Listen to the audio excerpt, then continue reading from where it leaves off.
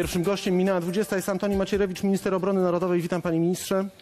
Dobry wieczór panu, dobry wieczór państwu. Panie ministrze, poinformował pan dzisiaj o uwolnieniu 11 zakładników z rąk e, talibów. Mówił pan o udziale w tej sprawie zarówno naszych sojuszników ze Stanów Zjednoczonych, jak i wojskowych służb, ale jeśli przypomnimy sobie debatę o wotum nieufności skierowane przeciwko panu, to ze zdania opozycji wynika, że wojsko nie działa, że nasze służby również wojskowe są w stanie fatalnym, a nasze stosunki z sojusznikami, w tym Stanami Zjednoczonymi są daleko niesatysfakcjonujące.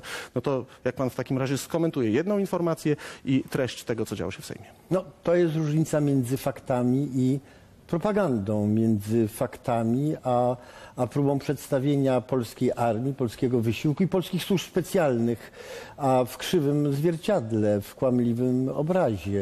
Y, Nie ma wątpliwości, że służba konwiadu wojskowego, bo to mówią nie tylko Amerykanie, to mówią Afgańczycy, a wszystko to na to wskazuje, y, odegrała olbrzymią rolę przy identyfikacji, naprowadzaniu i ostatecznym sukcesie, jakim było odbicie zakładników trzymanych w więzieniu.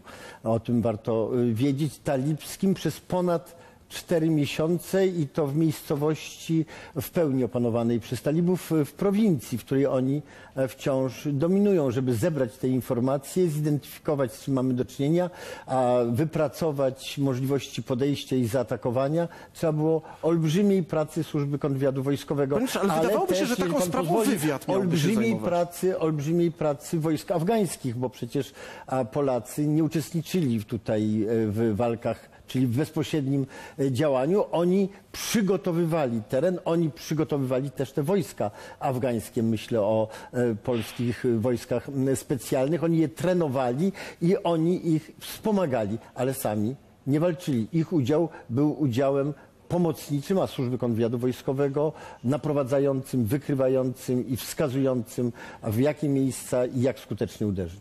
Panie ministrze, skąd rola służby kontrwywiadu wojskowego, a nie służby wywiadu wojskowego, która zdobywać ma informacje o przeciwniku?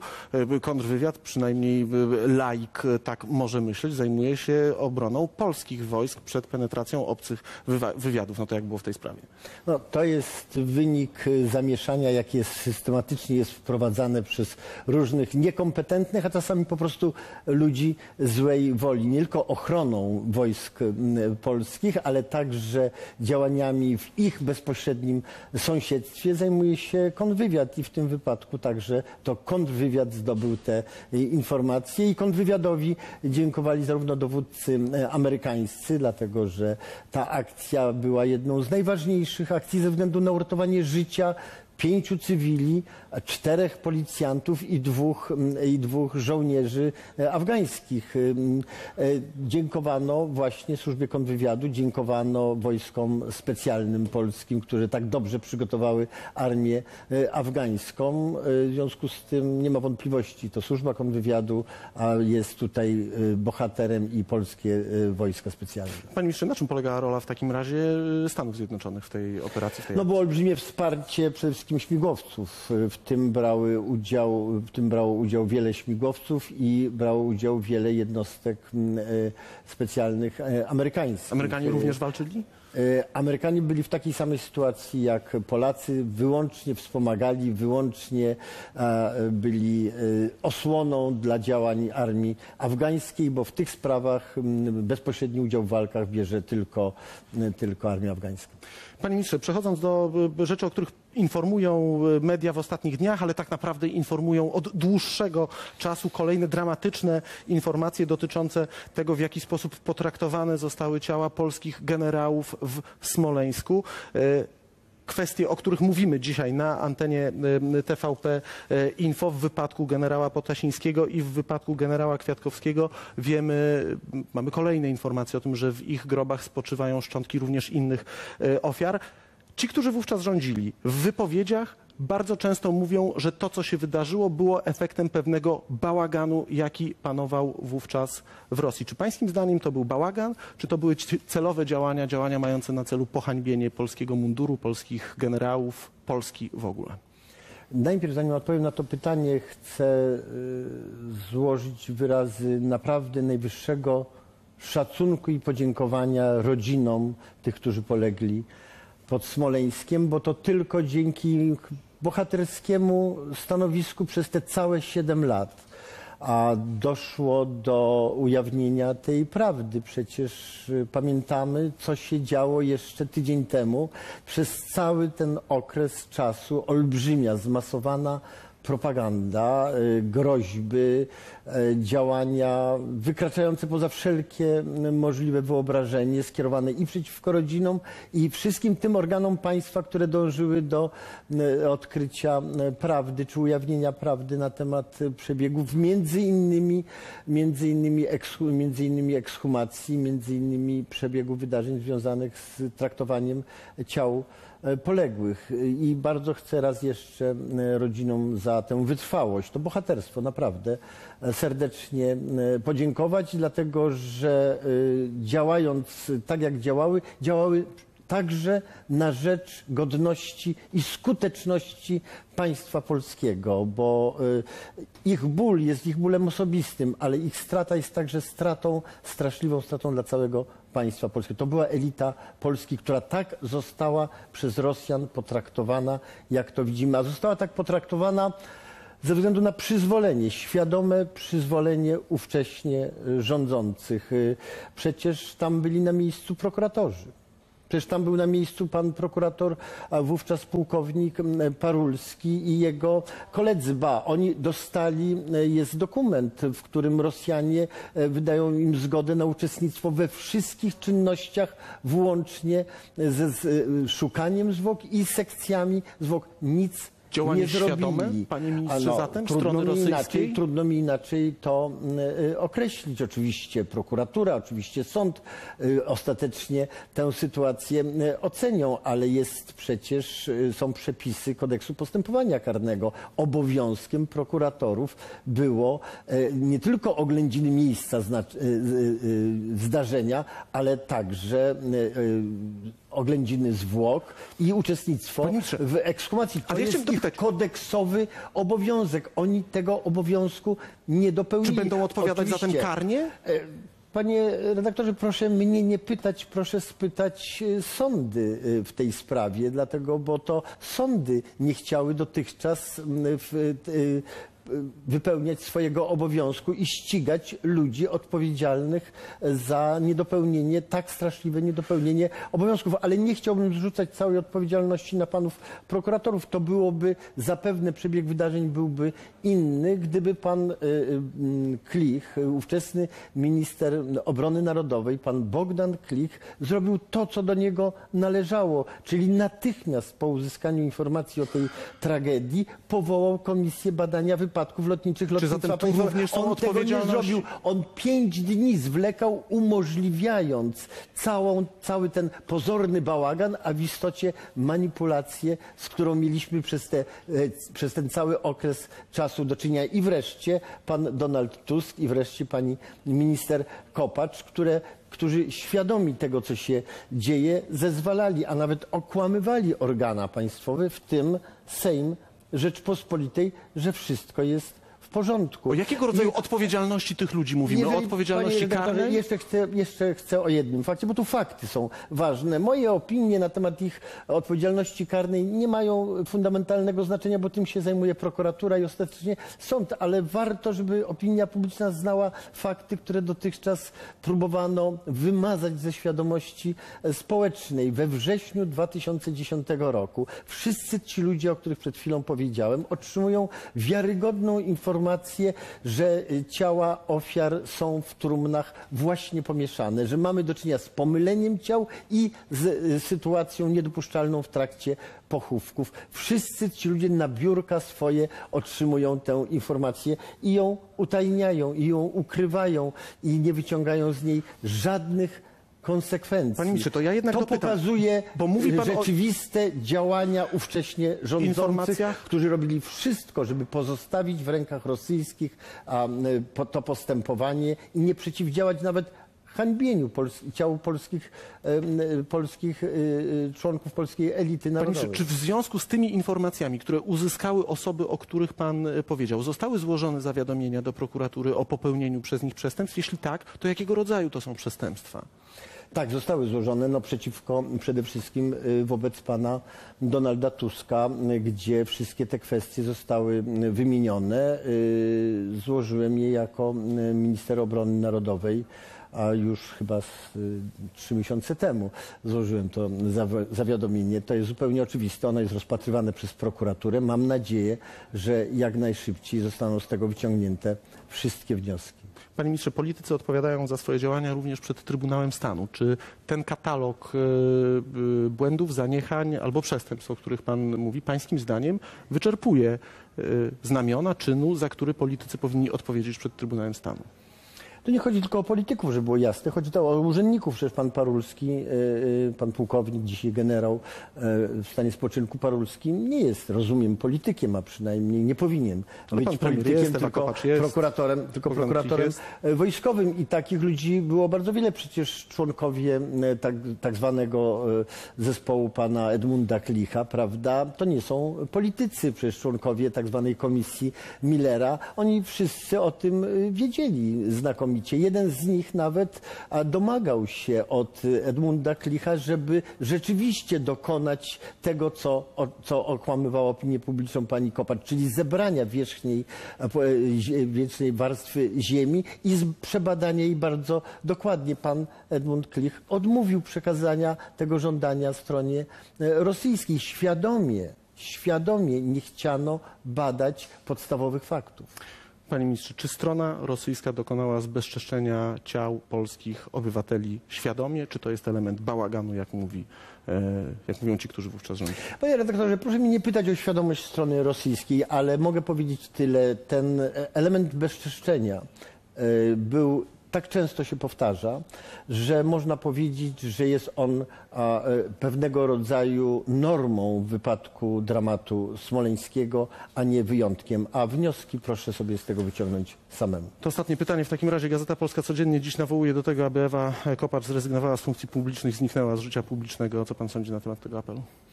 No, sądzę, że ten apel powinien dotyczyć mm, dużej liczby osób, nie tylko pani e, Ewy Kopacz. Przed chwilą i słusznie przywołano głosowanie ówczesnej większości sejmowej, gdy domagaliśmy się, by e, rząd wystąpił zgodnie z konwencją chicagowską o przekazanie Polsce postępowania i śledztwa w tej sprawie. To jest zgodne z, kon, z konwencją, na którą sama Rosja się powoływała i która miała być podstawą tego badania. Y, Większość ówczesna sejmowa, świadoma tego, co robi z pewnością, bo każdemu z nich bardzo dokładnie posłów przedstawiliśmy sytuację, odrzuciła ten wniosek. Ci posłowie skazali ofiary na taki właśnie los, który dzisiaj oglądali. I oni zrobili to świadomie.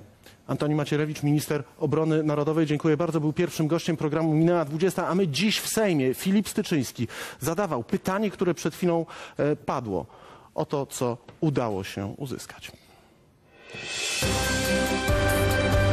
Kiedy Ewa Kopacz zrzeknie się mandatu poselskiego? Powtórzę panu uprzejmie, jest pan działaczem PiSu i w takim trybie z panem nie będę rozmawiał. Już raz rozmawiałem z panem w zeszłym tygodniu i to był mój błąd, bo uważałem, że pan jest dziennikarzem. Pan jest działaczem PiSu i realizuje pan zamówienia y, ściśle partyjne, więc y, nie widzę powodu do rozmowy z panem. Kiedy Ewa Kopacz zrzeknie się mandatu poselskiego?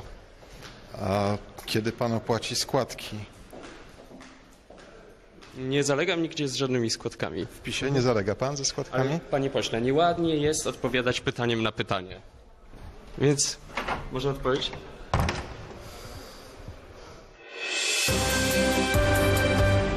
To Filip Styczyński w Sejmie. Będzie jeszcze jedna wypowiedź w, przed trzecią częścią naszego programu, a ja witam gości. W studio są z nami Jan Filip Libicki, senator Platformy Obywatelskiej. Witam dobry, panie witam. senatorze serdecznie. Witam serdecznie pana posła Ireneusza Zyskę, koło Wolni i Solidarni. Witam wieczór serdecznie panu, pana posła wieczór. Waldemara Budę, Prawo i Sprawiedliwość. Dobry wieczór. Panie senatorze, no to to samo pytanie, na które nie udało się uzyskać e, odpowiedzi e, w Sejmie. E, Antoni Macierewicz mówił przed chwilą u nas w studio, że wszyscy, którzy głosowali w tej sprawie zgodnie z tym, czym, e, czego chciała Rosja, powinni e, odpowiedzieć za tę sprawę. A czy Ewa Kopacz po tych wszystkich wypowiedziach i po tych wszystkich faktach, o których dowiadujemy się w tej chwili, nie powinna po prostu zrezygnować z działalności politycznej, odejść z życia e, politycznego, złożyć mandat? Nie, uważam, że absolutnie nie. To znaczy rozumiem, że jest sytuacja taka, że prokuratura panią premier Kopacz przesłuchuje jako świadka, to też chciałem zaznaczyć. To jest rzecz naturalna, że wszystkie osoby, które e, były tam wtedy na miejscu, muszą być przesłuchane przez prokuraturę. A te kłamstwa, które słyszeliśmy, Natomiast- czy wypowiedzi, które w oczywisty Na- sposób mijały się z faktami, co dzisiaj wiemy z Natomiast pewnością? ja się zastanawiam, no tu będzie trochę przytyk pod Państwa adresem. Bo jeżeli, bo jeżeli jest tak, że mamy e, upolitycznioną prokuraturę, a równocześnie Państwo przez cały dzień dzisiaj od rana, że tak powiem, ten temat eksploatujecie i to się jakoś tak zazębia czasowo z wezwaniem pani premier Kopacz jako świadka, to ja mam takie, zas- zastanawiam się, czy to przesłuchanie będzie do końca obiektywne, ale to jest moje, moja, Panie moja senatorze, wątpliwość, Ja do której pokazuję mam naszym prawo. y, widzom dzisiejsze y, wydanie gazety, która nazywa się Fakt. To jest gazeta, którą trudno mm, mm, podejrzewać o jakieś związki z y, y, telewizją y, publiczną. Wczoraj absolutnie dramatyczne y, informacje y, po raz kolejny słyszymy dotyczące y, Ale jedno zdanie. No więc- ja, ja tego, znaczy to, że to są głęboko poruszające rzeczy i sprawy, że doszło do takiej sytuacji w tych trumnach z tymi osobami, to jest rzecz bezdyskusyjna. No to kto za to odpowiada? Natomiast, natomiast no to właśnie, to jest ciekawa,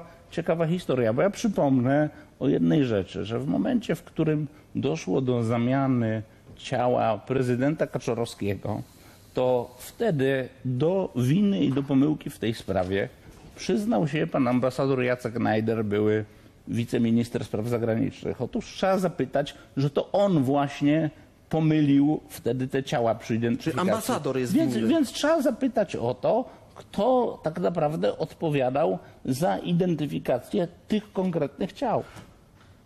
Szanowni panowie, panie pośle, jak pan interpretuje wypowiedź pana senatora? No wszyscy pamiętamy mniej więcej y, ten czas. Czy faktycznie winny jest y, y, ambasador, czy może wina Ja jest... y, mówiłem, że ambasador jest winny tej konkretnej pomyłce. No dobrze, ale tych pomyłek, jest winny jeśli pan chce pomyłce. pozostawać przy sformułowaniu pomyłka, to tych pomyłek była cała masa. Od 12 kwietnia do, spoglądam w tej chwili, co najmniej do 21, a tak naprawdę do przełomu kwietnia i maja wiadomo było, że w tych e, e, sprawach jest cała masa błędów i pomyłek. Panie pośle, jak jest szacunkiem dla, dla pana senatora, y, trzeba jednak powiedzieć, że żyjemy w państwie prawa.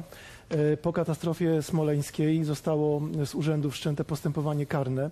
Na miejsce przybyli prokuratorzy, pro, prokuratorzy działali y, na podstawie przepisów prawa i niestety nie, do, nie dopełnili swoich obowiązków. Byli tam przedstawiciele państwa polskiego, był y, premier Donald Tusk, była ówczesna pani minister Ewa Kopacz, która zapewniała wszystkich z mównicy sejmowej 29 kwietnia y, 2010 roku o tym, że w głąb metry został ten cały obszar mm, przesiany, przebadany, że nasi patomorfolodzy razem z rosyjskimi patomorfologami przebadali również genetycznie wszystkie szczątki, e, co okazało się po prostu nieprawdą. I e, można powiedzieć, że nie tylko odpowiedzialność polityczna, ale także odpowiedzialność prawna ciąży na tych osobach, które wtedy e, zawiodły. To jest nie- Odpowiedzialność karna Ewy Kopacz? również, również odpowiedzialność karna z całą. No, ale jest wezwana mocą- dziś jako świadek. No, być może pani ówczesna premier, pani poseł Ewa Kopacz, zostaną postawione jej e, zarzuty z tytułu niedopełnienia obowiązków z artykułu Pani Ewa Kopacz zdaje 231. się była wówczas ministrem zdrowia. E, Ministrem zdrowia, tak. Właściwie to pojechała tam w sposób nieumocowany de, de facto. Nie wiem po co trzymają, e, chciała trzymać za, za rękę osoby, które tam opłakiwały swoich bliskich, a tak naprawdę nie spełniła obowiązków, które ciążyły na niej jako na, na reprezentancie państwa polskiego. Panie pośle, 12 kwietnia Polska uzyskuje, Andrzej Seremet informuje, że wydobyto ciała 87 osób, pomimo tego, że wcześniej strona rosyjska informowała, że wydobyte zostały już wszystkie osoby. 14 kwietnia minister zdrowia Ewa Kopacz poinformowała o zidentyfikowaniu 64 ofiar. Dzień później 71. 16 kwietnia Komitet Śledczy Rosyjski twierdzi, że potwierdziło, potwierdzono identyfikację 76 osób i trwają prace identyfikacji związanej z 20 pozostałymi osami, osobami. 18 kwietnia poinformowano, że zidentyfikowano 21 ciał i wśród tej grupy polskich ofiar znajdują się te, o których ostatnio e, słyszeliśmy. Jednocześnie państwo Polska zabroniło i oficjalnie powiedziało o tym, że nie zgadza się na to, aby e, Polacy mogli sprawdzić, co się z tymi osobami działo. Jak pan to skomentuje? To nieprawdopodobne, jak e, przez tyle lat byliśmy e, oszukiwani. E, e, Ja przypomnę, że te zapewnienia o tym, że patolodzy i e, polscy, polscy urzędnicy pracowali ręka w rękę z patologami rosyjskimi. Trzy dni po katastrofie były wielkie podziękowania dla strony rosyjskiej, że współpraca była świetna tam w terenie i w, podczas identyfikacji zwłok układała się świetnie. Więc w świetle tych słów, które padały wówczas, ale później jeszcze w Polsce, z mównicy sejmowej, z konferencji prasowej, e, e, jakby w świetle tych okoliczności e, my dzisiaj e, możemy podejrzewać najgorsze, bo e, ja rozumiem pomylić materiał to znaczy genetyczny najgorsze? szczątki. Ja Świadome roz- działanie? Ja rozumiem pomylić drobne działanie? rzeczy, ale jeżeli mówimy o trzech dłoniach, jeżeli mówimy o miednicy, to nie sposób nieświadomie takie po- pomyłki, żeby takie pomyłki się zdarzyły. Więc ja podejrzewam najgorsze konsekwencje i najgorsze, co mogło tam się wydarzyć. Tam nikt nad tym nie panował i e, prawdopodobnie Polacy w żaden sposób tam nie uczestniczyli, pomimo tych zapewnień ze strony pani minister wówczas Ewy Kopacz. Coś niesamowitego, że można było tak kłamać e, e, e, i przekonywać opinię publiczną i rodziny oczywiście, bo to jest najważniejsze. One dzisiaj ponownie cierpią z tego powodu, że wszelka kompetencja i wszelkie m, reguły zostały zachowane przy tych e, procedurach. Jak się okazuje, e, prawdopodobnie w ogóle w nich nie uczestniczono. E, Coś niesamowitego. Przypomnijmy wypowiedź Ewy Kopacz. Magazyn śledczy Anity Gargas zaprezentował tę wypowiedź w pierwszych godzinach po ujawnieniu ostatnich informacji przez dziennik Fakt, przypominając wypowiedź, o której nie pamiętaliśmy, przynajmniej w części mediów w Polsce od y, 10 kwietnia 2010 roku. Ewa Kopacz o przyczynach, dla których wydany został zakaz otwierania w Polsce trumien i przeprowadzania autopsji. Po złożeniu zwłok w trumnie i przymocowaniu wieka trumny nie wolno otwierać. To są akty prawne, które w tej chwili obowiązują. Dziękuję. Taka była odpowiedź moja wtedy do rodzin, które mnie o to pytały. Panie senatorze, pani minister, pani premier powoływała się na przepisy sanitarne dotyczące sposobu traktowania ciał obywateli Polski przywożonych z zagranicy, ale jednocześnie są przepisy procedury karnej, które mówią, że jeżeli nie ma jasności co do sposobu, w jaki zginęła dana osoba, prokuratorzy i państwo polskie ma obowiązek przeprowadzenia w Polsce sekcji zwłok. Co oznaczają te słowa i czy z tym się zwiąże Panie- pańskim zdaniem odpowiedzialność Panie, karna? panie redaktorze, ja myślę tak.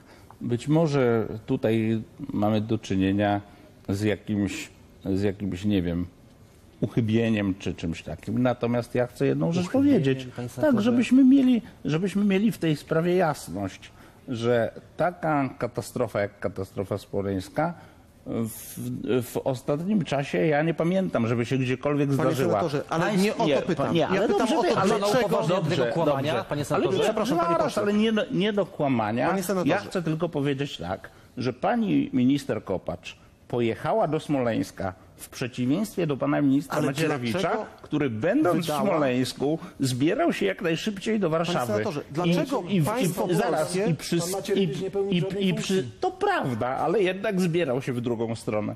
I teraz problem polega na tym, że przy takiej skali katastrofy, z jaką mieliśmy do czynienia bez precedensu, mogło się zdarzyć to, że były jakieś uchybienia To czy dlaczego uszczerbki. państwo polskie wydało polecenie? Zakaz otwierania trumien. Przecież to jest materiał dowodowy, to są informacje dotyczące tego, co się mogło wydarzyć, a państwo polskie powiedziało nie wolno, powołując się na Znaczy nie, przepisy państw- sanitarne. Państwo wyciągacie z tego wniosek, że państwo polskie nie zdało egzaminu. Otóż ja pan zawsze jaki podaję ten przykład, że od 54 lat państwo amerykańskie nie ustaliło, kto zabił Johna Fitzgeralda Kennedy'ego i nikt nie mówi, że państwo amerykańskie nie działa. To zdaje się akurat nie jest prawda, bo państwo amerykańskie zdaje się w tej sprawie wydało Zdaje się, oficjalne e, werdykty. E, Panie pośle, jak pan Państwo polskie niestety nie zdało egzaminu e, od samego początku. Po pierwsze, premier Donald Tusk złamał Konstytucję Rzeczpospolitej, oddał śledztwo w ręce, w ręce rosyjskie, nie zapewnił wyłączenia eksterytorialności miejsca, gdzie doszło do wypadku lotniczego,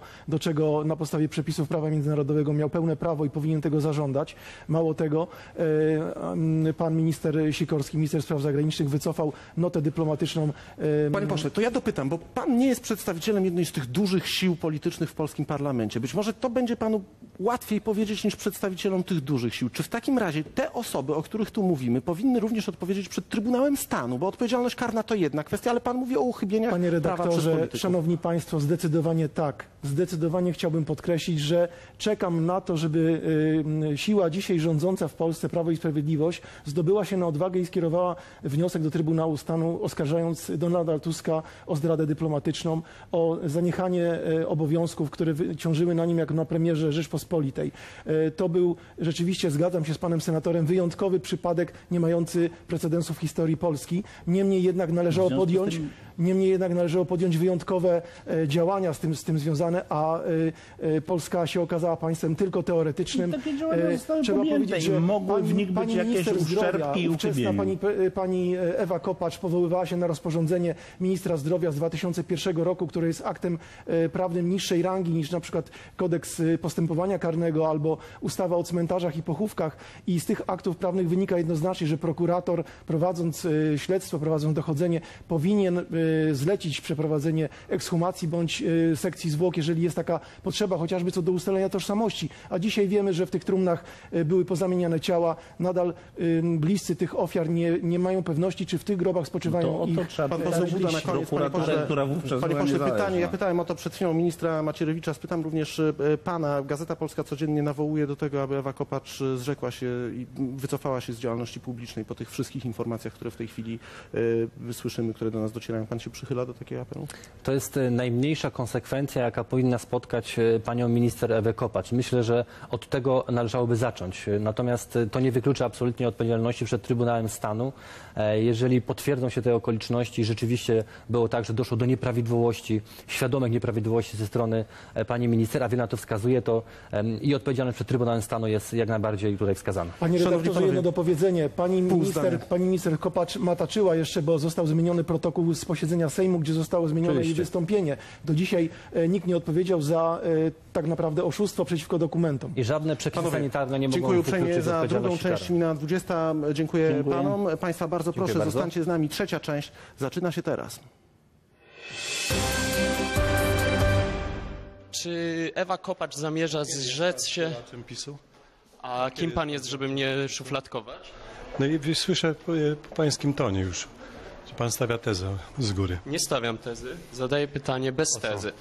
Czy Ewa Kopacz zamierza zrzec się swojego poselskiego mandatu? Y, Pytanie jest e, proste. Kiedy y, minister Błaszczak i minister Zieliński y, złożą dymisję z ról ministerialnych po mordzie na posterunku we Wrocławiu? Panie pośle, nieładnie jest odpowiadać pytaniem na pytanie. Y, Panowie pró- próbujecie w telewizji publicznej, tak zwanej niestety, przykryć to, co się wydarzyło na posterunku we Wrocławiu. W tej chwili y, roz, rozgłaszaniem ekshumacji, która była już w kwietniu przeprowadzona. Ale są nowe dowody w tej sprawie.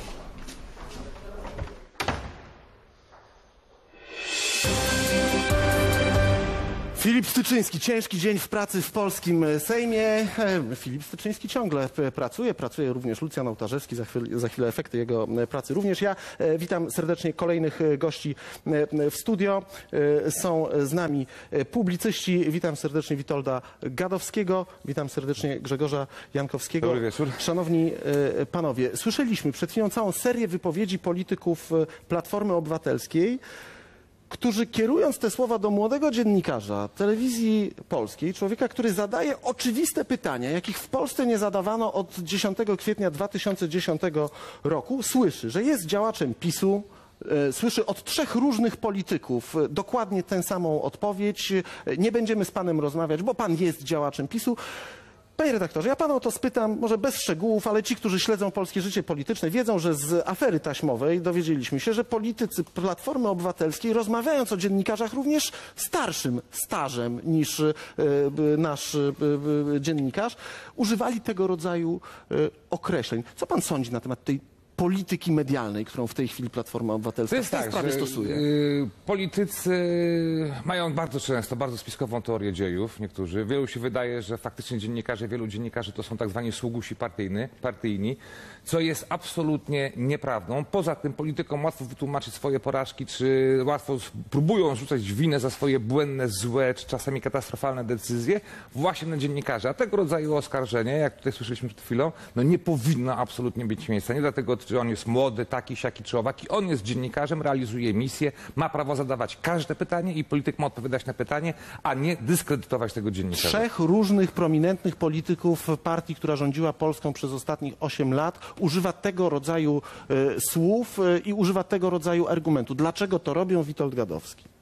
Jak nie ma argumentów, pozostaje hamstwo i to, i to jest tyle. Tak to mogę określić. Jak można młodego człowieka, który y, stawia pierwsze kroki w dziennikarstwie, od razu tak etykietować? A to ci dziennikarze, którzy byli e, poprzednio w telewizji publicznej, poprzednio, czyli zarządów koalicji PO i PSL, kiedy ja tu nie miałem wstępu.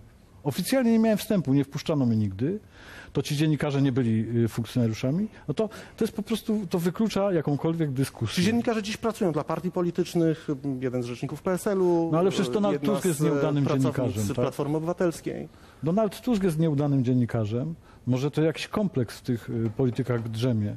Nigdy nie pracowałem dla żadnej partii politycznej, nie jestem na postronku żadnej partii politycznej, a często byłem oskarżany, że pracuję albo dla jakiejś partii, albo dla jednej, albo dla drugiej, albo dla jeszcze innej. Naprawdę cuda o sobie słyszałem. Jestem już trochę starszy, więc potrafię to y, ignorować tego rodzaju rzeczy. Ale faktycznie dla adeptów dziennikarstwa to są rzeczy wstrząsające. No to dobrze, panowie, to w takim razie dlaczego politycy Platformy Obywatelskiej mają problem z odpowiedzią na pytanie, czy Ewa Kopacz po tym wszystkim, co się dowiadujemy, powinna po prostu ustąpić, odejść z polskiego życia Bo publicznego? Pojawia się y, pytanie, bo to jest pytanie y, w stylu, czy A to jest pierwsza litera alfabetu, prawda? I jeżeli pani Kopacz, być może wiedziona y, porywem serca, pojechała do Smoleńska i tam zobaczyła to, co zobaczyła, jako lekarz przecież, ale także jako prominentny polityk, wróciła i zrelacjonowała oficjalnie jako polityk y, przebieg ekshumacji, przebieg działań. I teraz to się nie zgadza w świetle y, nowych ustaleń y, okazuje się, że to jest po prostu nieprawdą, to ja na miejscu polityka, pani Ewy Kopacz, powiedziałbym przepraszam. Ja powiem w ten sposób, że każdy polityk, tak jak lekarz, kierowca, ktokolwiek inny wykonujący jakikolwiek zawód, musi się liczyć z tym, że musi ponieść odpowiedzialność za swoje decyzje.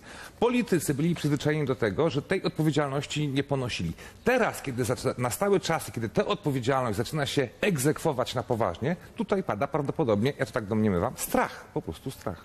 Panowie, jest taki przypadek, dzisiaj zresztą w programie b, b, b, senator Libicki przypomniał sprawę zabójstwa Johna Fitzgeralda Kennedy'ego. Jest książka opisująca tę sprawę, książ, książka autorstwa amerykańskiego dziennikarza Billa O'Reilly'ego i on tam przypomina sprawę z Wielkiej Brytanii z lat 60. John Profumo, minister obrony, minister wojny, który okazało się miał skandal seksualny z udziałem przedstawicieli rosyjskiego imperium, rosyjskich e, szpiegów. Jego losy pot- potoczyły się w przedziwny sposób. On zrezygnował z wszelkiej działalności publicznej. Dał przykład Grzegorz Jankowski. Tak, dał przykład. Zaczął być e, sprzątaczem toalet to przez e, wiele, wiele lat na londyńskim East Endzie. Tak to prawda, bo na zachodzie tam się odpo- kwestie odpowiedzialności i kwestie podejścia do życia publicznego traktuje w zupełnie inny sposób.